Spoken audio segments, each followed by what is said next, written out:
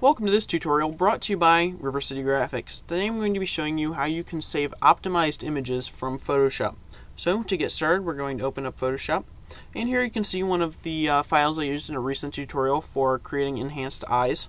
So let's say that we've gotten to a final stage with our project and we want to save it out um, for use on the web or in an email or for print or whatever other uh, application you might have. So what you can do, um, or what some of you might be doing, is going to File and then Save As. Now you can go to this little tab here and you can go down to things like JPEG and save them out.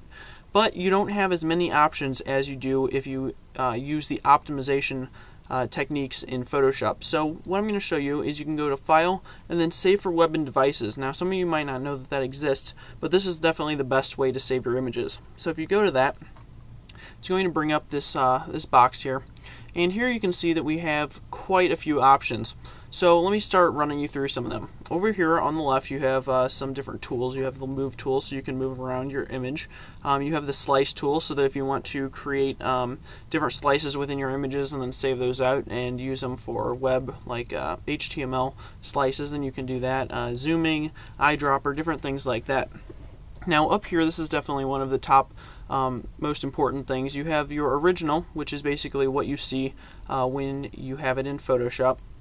And then you have your optimized. Now you're going to want to make sure that it's over here on the optimized, um, unless you just want to save it as an original. If you save it as an original, you can just select your file type over here, and then just save it out. But since you've taken the time to come here, you might as well try and optimize it somewhat. So you're just going to flip it over to the optimized tab, and then you can start messing with the settings over here. Now, as far as this 2-up and 4-up tab, if you go to the 2-up, you can see the difference between your original and what you've um, changed with it, the optimized. And then if you go to 4-up, then you can see the original, you can see 100% quality, 50% quality, and 25% quality. So we're just going to go back to the optimized tab, and then I can start showing you some of these options over here. Now the main thing that you're going to be adjusting is the file type. So the first thing is um, we have JPEG. We have uh, different types. We have the uh, GIF, the JPEG, PNG 8, PNG 24, and then this WBMP. Um, if you go to that, you definitely wouldn't want that. just basically black and white pixels. So um, what you would probably be using is a JPEG. Most um, files are saved in JPEG or a PNG. Um, so, and you can also have the option of a GIF, which basically you have a lot of different options with the GIF. I'm not going to get into what a lot of those do because you can see that um, right when you switch it over to a GIF, you automatically lose some quality. So, we're going to be going with the higher uh, quality types such as JPEG and PNG24. Uh, PNG8 is similar to uh, the GIF, so again, the JPEG and PNG24 are going to be your best bet. So with the JPEG, you have uh, some options. You have uh, the quality, and this um, why you would change the quality is basically, um, especially if you're putting in this on a website, uh, you want your web page to load fast. Um, if web speed isn't an option, then I would just save it at 100% quality, or if uh, the image is smaller, then it really wouldn't make too much of a difference. But down here, um, towards the bottom of the image, you can see that it says uh, 465 seconds at uh, 56.6 kilobytes per second. So that's the download speed. So at this rate of download, uh, it would take 465 seconds. So obviously that's a ton of time. So we can adjust the quality of the image in order to try and um, lessen the amount of time it would take to download that.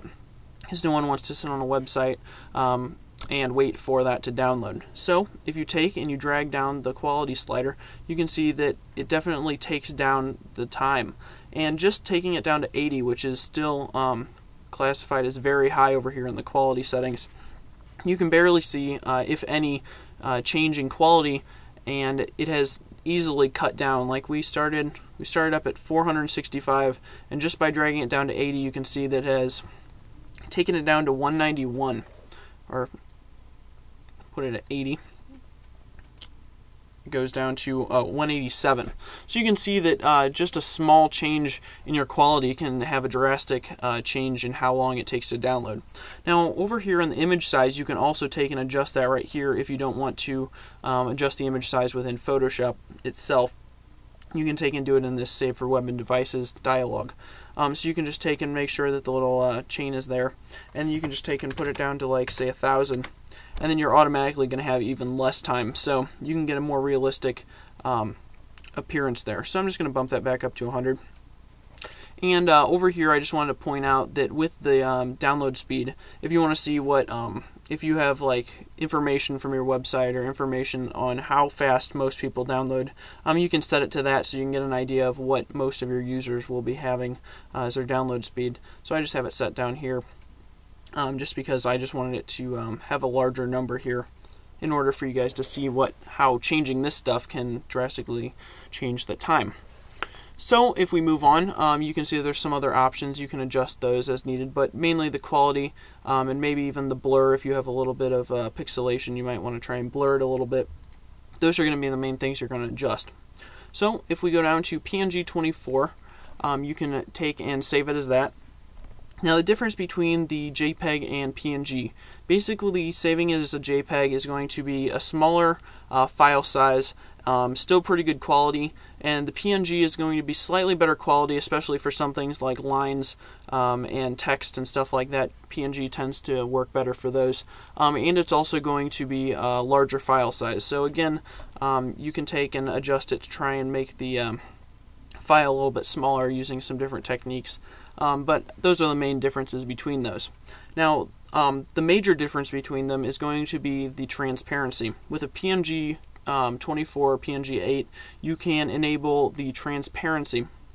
And what this means is that anywhere in your document where there's uh, the checkerboard, like the uh, black and or the white and gray uh, checkerboard, it will allow you to save that out and actually have that transparent. If you saved it as a JPEG and you wanted to have that transparent background, um, it would just fill it in with white and save it. But if you had it as a PNG, then you would be able to actually save it um, and keep that transparency. So um, that's one of the major benefits of the PNG. You just uh, erase the background or select it out and delete it, and you can save it and still have um, the transparency and just your focus uh, there. So for, for uh, certain applications, um, the PNG transparency would be very helpful. So, um, I hope you guys learned some stuff in this tutorial. Um, when you're ready to actually save out your file, you just go down here to save, and you can save it to your desktop, and uh, if you want to put it on HTML and images, um, depending on if you sliced it, uh, that's fine.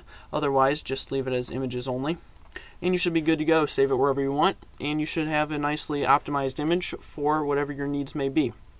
So, hope you guys learned something in this tutorial. Don't forget to subscribe, rate, and comment. Uh, thanks for watching, and I'll see you in the next video.